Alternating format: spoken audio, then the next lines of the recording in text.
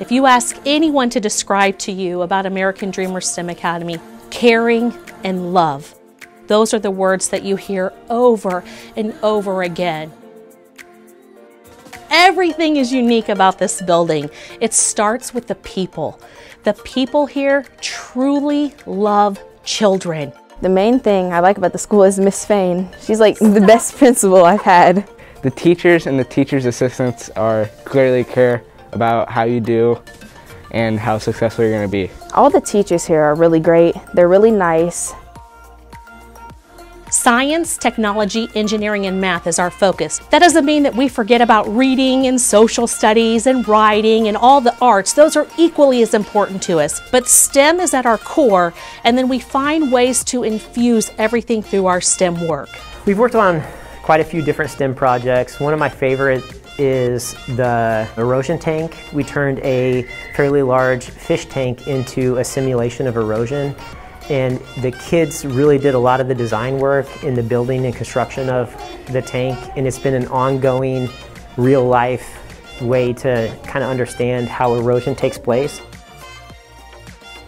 We sit on beautiful 20 plus acreage of a living science farm here at the American Dreamer STEM Academy. It's really unique to have a living science farm so that we have animals on site, we've got gardens on site, we've got 20 acres.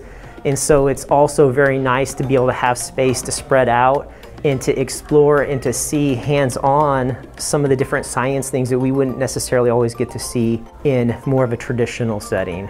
And being on this campus allowed us to become a K-8 building.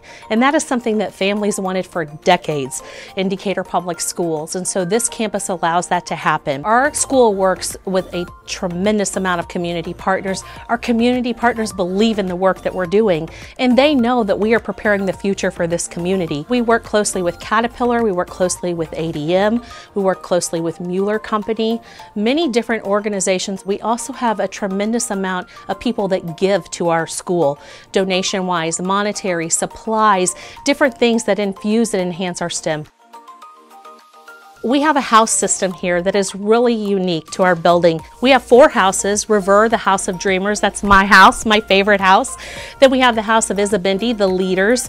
We have the House of Amistad of love and the House of Altruismo, which is the givers. And so they work, they do collaborative projects together. Right now, Altruismo, the House of Giving, is working on a Thanksgiving basket project for our community our teachers, they work very well together and they integrate grade levels. Kindergarten and third grade are working right now on a takeoff of Macy's Day Parade where they are designing through the engineer design process and then they're going to engineer floats that are based around literacy. And then we're going to have a makeshift Macy's Day Parade.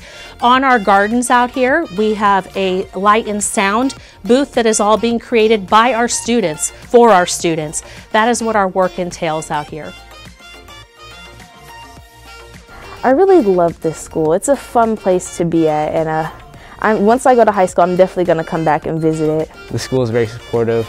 They make you feel like you're wanted. If you're a student, you, people like know who you are.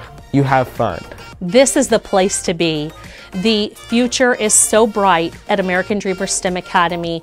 Truly, as a parent of Decatur Public Schools, I mean this with all sincerity.